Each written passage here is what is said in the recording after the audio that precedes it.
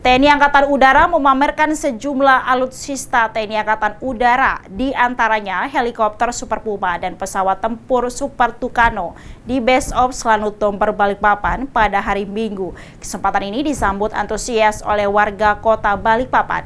Bahkan alutsista TNI Angkatan Udara ini dijadikan objek bersuah foto untuk mengembalikan momen langka tersebut.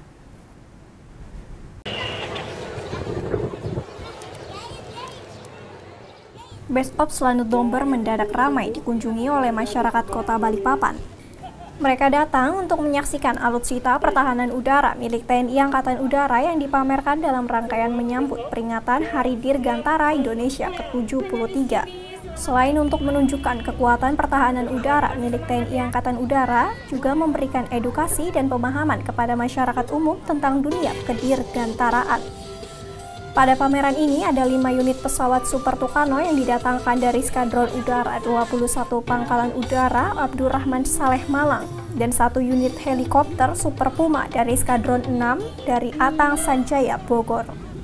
Jadi static show bisa kita lihat uh, ini di belakang kita pesawat bisa langsung dilihat bagaimana uh, apa namanya spesifikasinya, bagaimana bentuknya dan sebagainya dan juga dynamic show pesawat ini akan terbang dan juga nanti akan melaksanakan pes di atas uh, di atas kita semua di atas uh, base of Lanutum.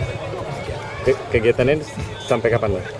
Untuk kegiatan yang terbuka ini ada hari ini uh, dari pagi hari ini sampai sore siang siang sore hari ini.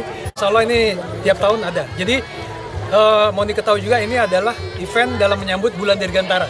Bulan Dirgantara itulah uh, bulan April di mana Angkatan Udara melaksanakan uh, ulang tahun yang kebetulan pada tahun ini adalah ke-73 rangkaian kegiatan untuk menyambut bulan Dirgantara pada tanggal 9 April. Sementara itu, keberadaan alutsista ini juga disambut antusias oleh masyarakat kota Balikpapan.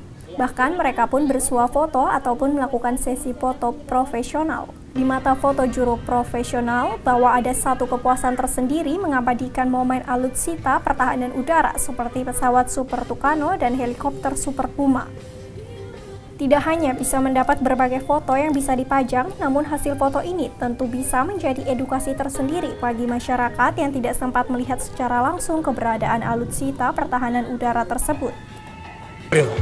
Sangat menarik mas ya, karena dengan adanya event ini kita bisa mengambil gambar pesawat yang jarang-jarang kita bisa abadikan.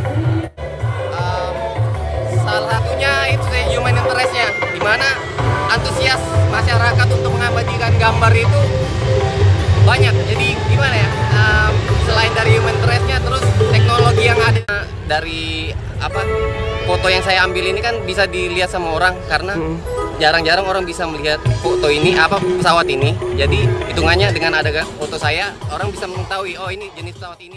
Sementara itu dari lima pesawat Super Tucano, tiga di antaranya melakukan static show dan dynamic show. Atraksi ini disaksikan langsung oleh masyarakat umum yang berkunjung di Base of Slanutum Balikpapan. Iskandar Amir Dahlan, Kompas TV Balikpapan, Kalimantan Timur.